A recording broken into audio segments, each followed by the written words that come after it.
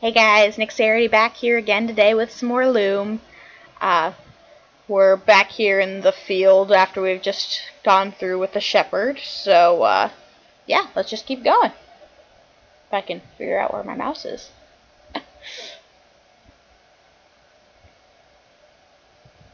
really hate that this game doesn't save, so I have to play it all in one sitting, and it's about an hour and a half to two hour game, depending on if you do actually know what you're doing. But, yeah. Hello there. Who said that? I did. My name is Fleece, first chosen of the Guild of Shepherds. I wish we had time to chat a while and trade some tales, but we have got a serious problem on our hands. What sort of trouble are you having? It seems we've a dragon nearby who has an enormous appetite for fresh mutton. We breed our sheep for extra whiteness, so we cannot keep them on the meadows. She can spot them miles away. By now, the dragon has carried off so many that we may not be able to fill the cleric's order. The clerics? I just saw the bishop at the glassmakers. Bishop Mandible? He placed the order for 10,000 sheep. 10,000 sheep? That's enough to feed an army. Yes, that had occurred to us too. You noticed our increased patrol in the forest. We'll deliver the sheep to the clerics if we can, but we won't trust them. I suppose fighting the dragon will be out of the question. Only a mage can save us. I see you've noticed my little friend. She doesn't look at all well. She isn't, uh, and my songs of healing don't seem to be bringing her much comfort.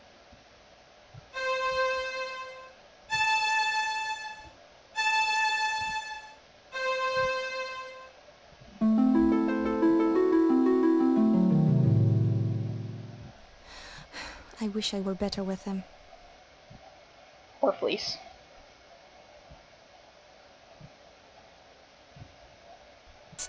The flock is out to pasture. You'll find them there. Go forth, wizard, and may you return safely to our fold.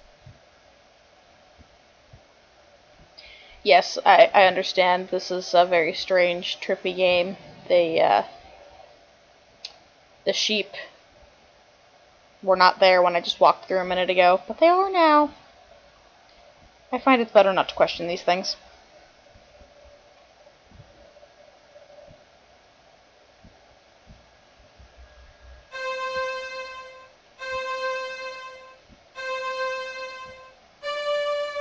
Turn the sheep green.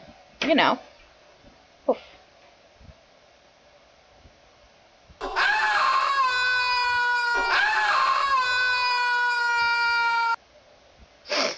Oh, I'm sorry, that scream gets me every time.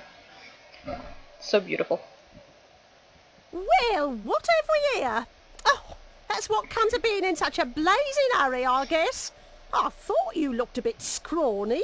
Oh, why, you'd hardly make a decent kindling.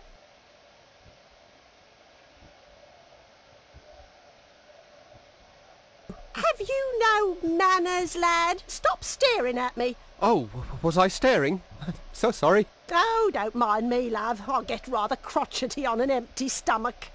D does that mean you're going to incinerate me then? Incinerate you? Oh my, aren't you the foxy one? I haven't created any fire since my last mating season, and you don't want to know how many centuries ago that was. no, no, no, no, that's much too much heat for me these days. You mean you can't breathe fire? Can't? Let's just say I won't. Just between you and me, love, the stuff gives me the heebie-jeebies. Okay. And now I'm gonna feel awful, but it has to be done.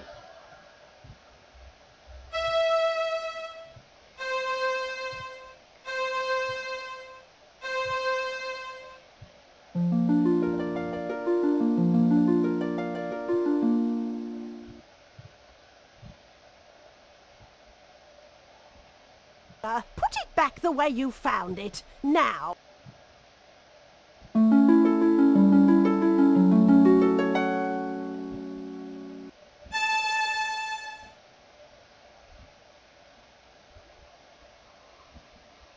Is this one?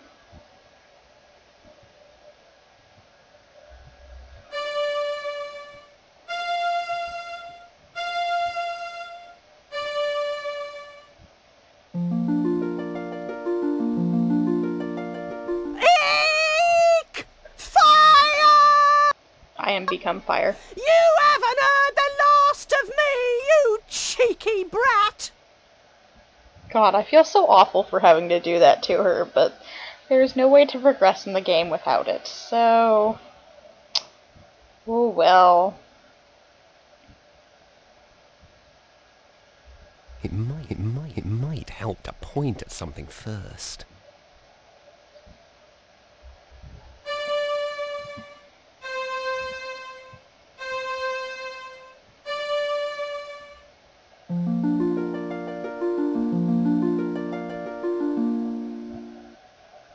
Go, now I can see.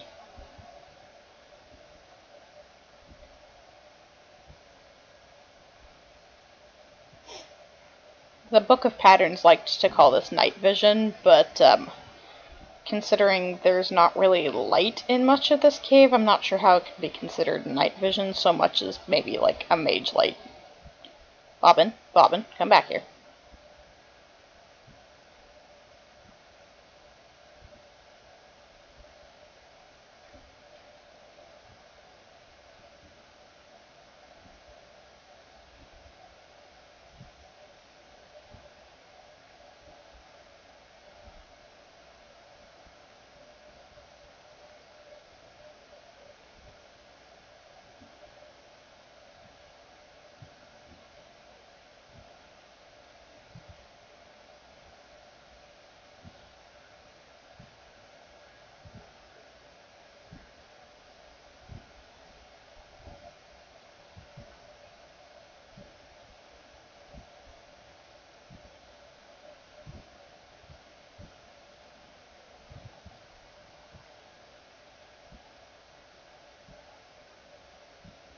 Yeah, I don't know how this, these caves work, but they work, I guess.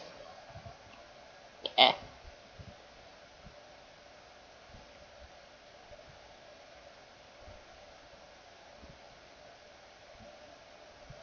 Ah! Guess I won't be going back that way.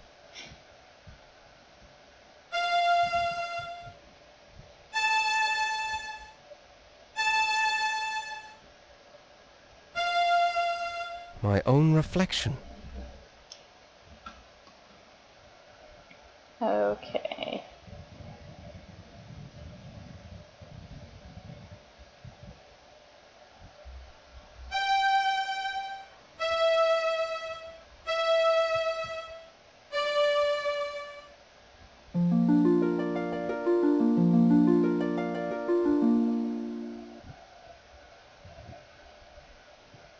You guys can remember way back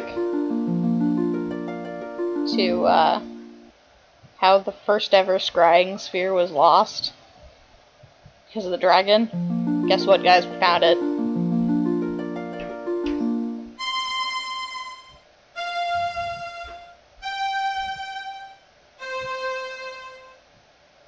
And that keeps coming back up, but that's literally the end of the game. Bishop Mandible. What in the world is he up to? You know what? I think we're gonna actually just.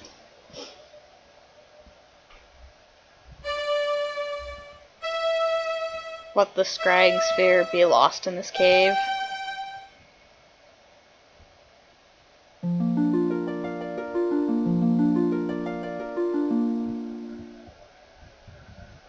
It doesn't need to come out. If anyone ever finds it anyway.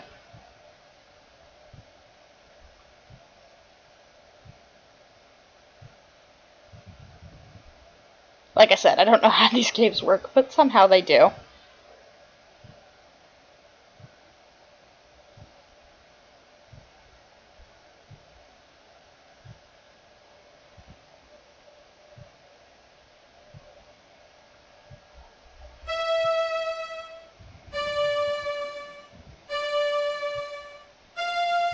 I'm sorry. I missed a beautiful comment on how uh, repair costs must be spiraling. But at least, you know, I already knew that, so you guys get to hear it from me.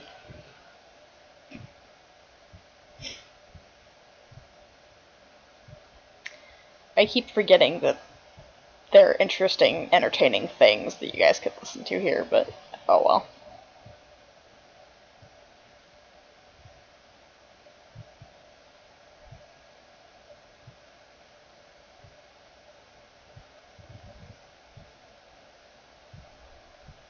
These grave markers are forged from solid bronze. It must be heavy.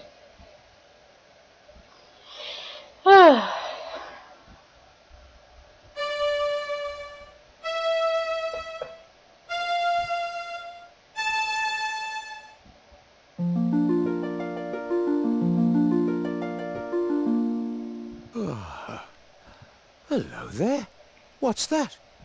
Your music woke me up. Oh, sorry. Oh, not to worry. I'm Rusty.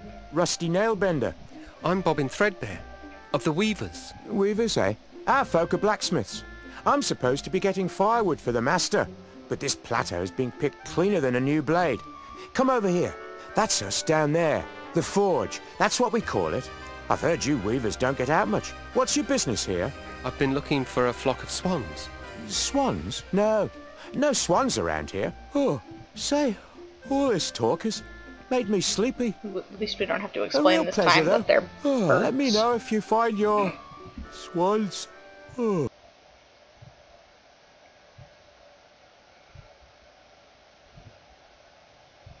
And I, I do have to say, I love that their forge thing looks like an anvil.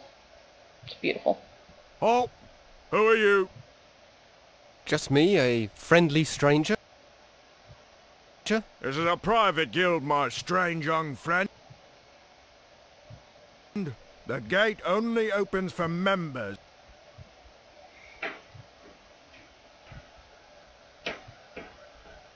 Well,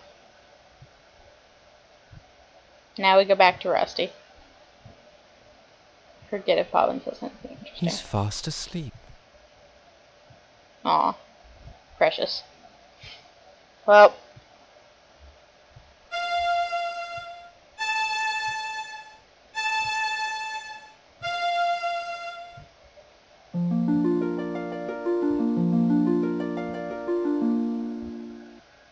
look at that, we magically changed appearances.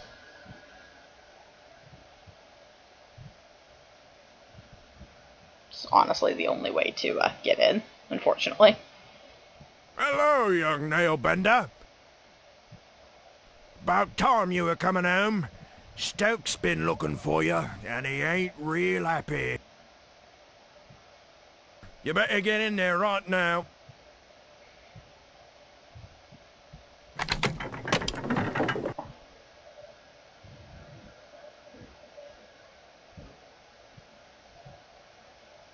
I like the gatekeeper just kind of leaves.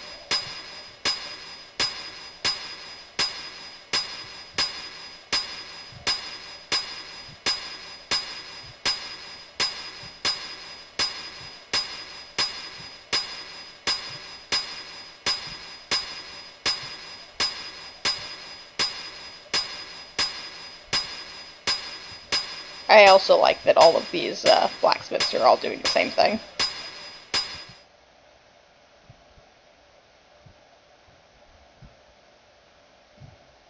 Well, it's about time, you lazy idiot. I sent you out four hours ago for firewood, and you bring me back one scrawny stick. If your father weren't the foreman, I'd toss you in the furnace. You're just like the use downstairs with the bishop right now. If that fire goes out and the cleric's swords don't get done, I'm sorry, I had a bit of trouble. perhaps you'd like to offer your confessions to the bishop in person. I'd be happy to arrange it. Now give me that stick. I'm done dealing with the likes of you, Nailbender. I'll be back, and you'd better hope the furnace doesn't go out. What a mess. I can't do anything without my distaff. Oh no. It's locked. And me with no distaff.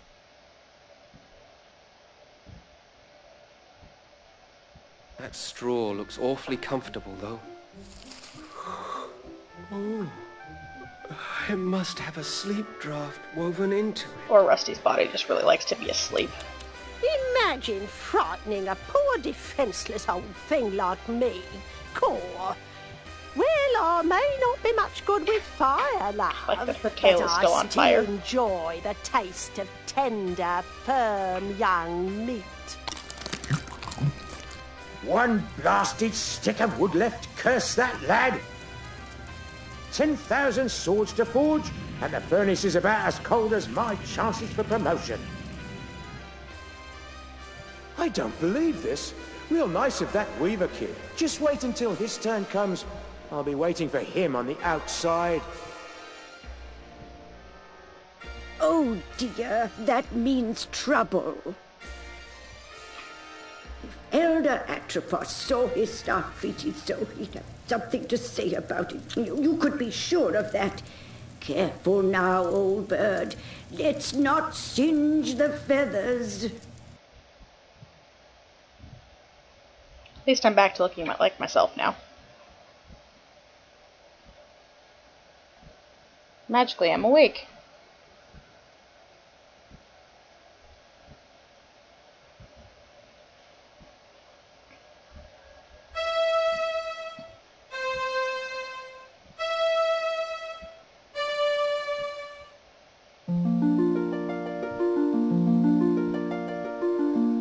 And through the open door we go.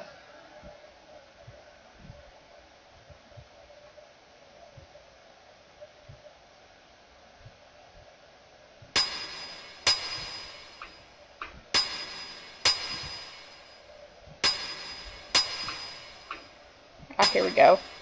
Eavesdropping on more conversations.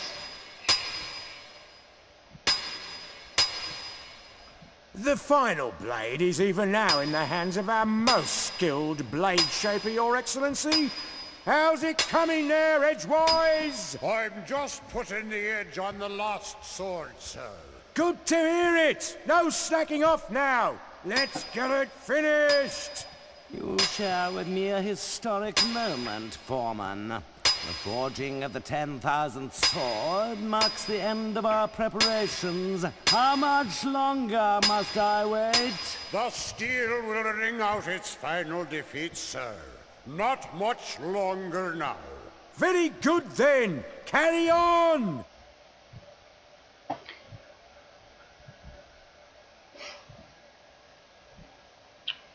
Oh, where did it go? It might help to point at something. It's too noisy to spin any drafts in here. Seriously?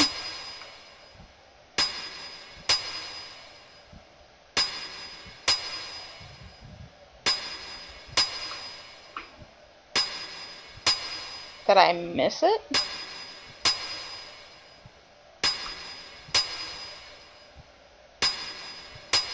Edgewise, is that blade not ready yet?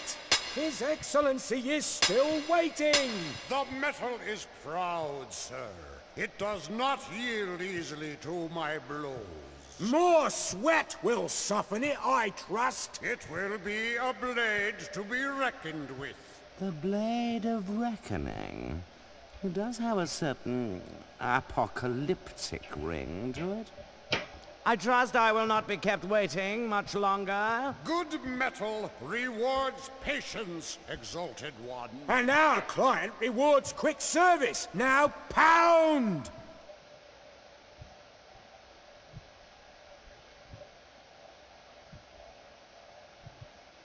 It's about time he stopped. That hammering was making my head hurt. It might help to point at something.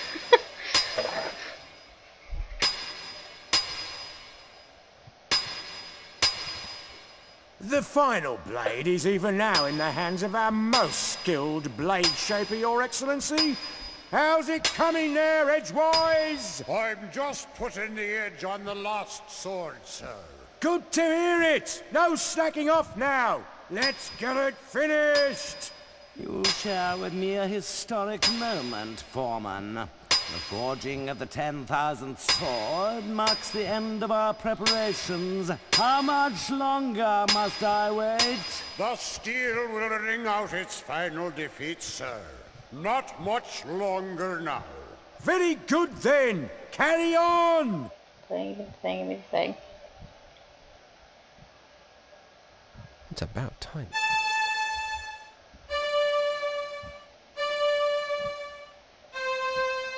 There we go. God. What? What evil is this? A witch's curse has twisted the final blade. A curse, Edgewise? I think not. It would take more than a mere witch's curse to ruin my plans. You there! Could it be that this little prank is of your doing? Yes?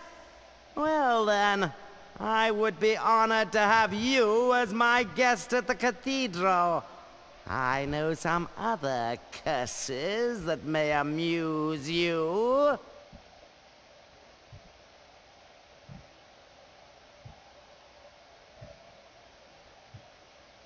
I'm getting really tired of this. Allow me to introduce myself. I am Bishop Mandible, trans-ultimate apostle of the anti-secular conclave of clerics. I know. Am I expected to kneel? Silence, you impudent punk! This is my assistant, Cobb. Charmed, I'm sure. And you require no introduction. Your cloak and staff betray your origins. But I must say I'm surprised to find you here. It's been quite a long time since any weaver bothered to leave that dreary little rock you call home. Loom. so provincial. I can't help but wonder what impelled you to leave it now. His Excellency asked you a question. I know. I'm ignoring it. Ah, oh, the sass. Recalcitrance. I see. Shall I fetch the uh, instruments of persuasion, Master? Please forgive my assistant his eagerness. I fear Cobb is not very worldly. He does not understand the dangerous power of a weaver. Dangerous? Your Reverence. Him? Quite dangerous indeed, my dear Cobb. In fact, he could burst this flimsy iron cage open with hardly a second thought. That's impossible, most exalted one. I inspect the locks personally every fortnight. Observe and learn then, for even now your prisoner plans his escape. Yep.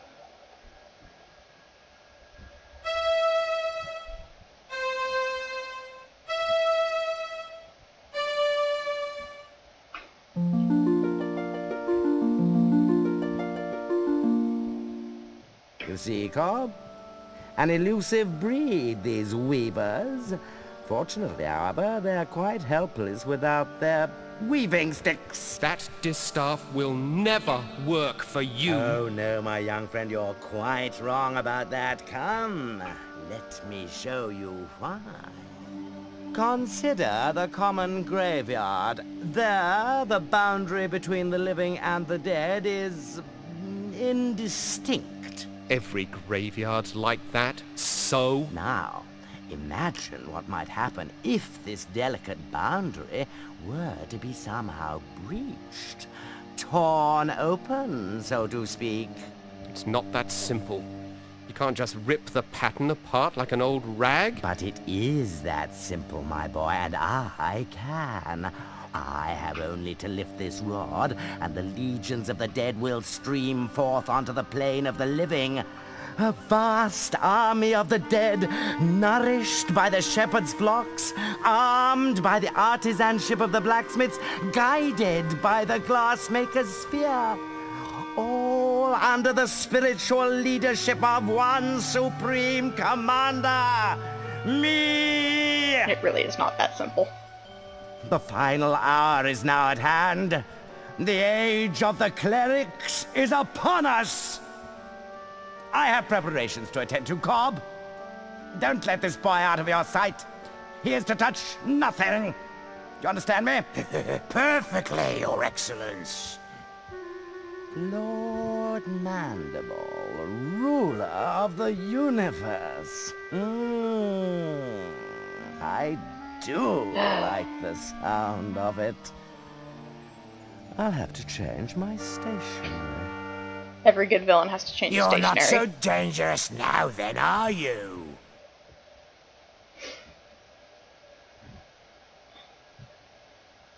Keep away from that. His Eminence said not to touch anything. I wasn't going to touch it. Just looking, Cobb. That's all. Just looking, eh? Well then, perhaps we can do a bit of a trade. How about I let you look in the sphere if... If... what? Well, the legends say that to gaze upon an uncloaked weaver brings death. Instant and agonizing. Naturally, we clerics aren't given to such silly superstitions, but I'm curious. Let's answer this one once and for all, shall we?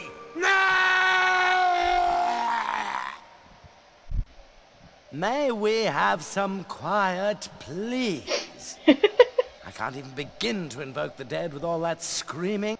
Good. Well, he can't say he wasn't warned. And that's going to do it for this episode, guys. If you liked it, go ahead and click that like button and subscribe for more great content. I'll see you guys in the next video. Bye.